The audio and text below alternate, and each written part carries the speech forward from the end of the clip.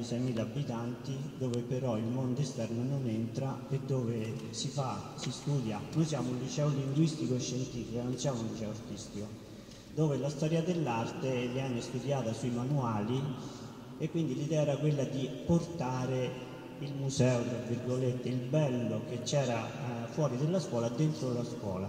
Quindi ho proposto all'insegnante di lavorare con i ragazzi eh, partendo dalla storia dell'arte e come creare la scuola un ambiente bello di vita. Ho detto ai ragazzi a scuola ci si passano otto ore, abbiamo, ogni classe ha pensato a un'opera che voleva realizzare un'opera di tipo anche classico, storico, ma anche opere personali di ragazzi che hanno dei talenti nascosti. Voi capite che in un liceo scientifico o linguistico gli altri linguaggi, soprattutto quello artistico, quello musicale, tutti gli altri linguaggi belli, non verbali, spesso sono tenuti sopiti e. Quindi diciamo è stato un lavoro per riportare al centro della vita della scuola non solo la matematica, l'italiano le lingue, ma anche il, il tema dell'arte e quindi anche poi dell'ambiente.